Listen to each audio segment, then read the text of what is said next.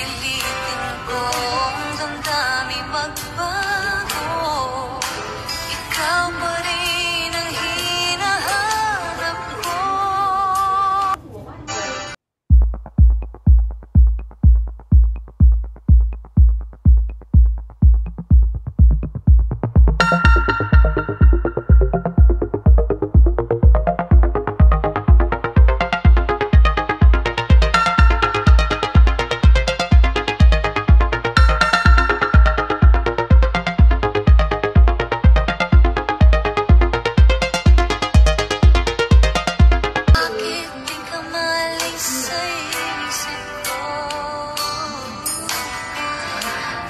Ikaw ang lagi laman itong puso ko.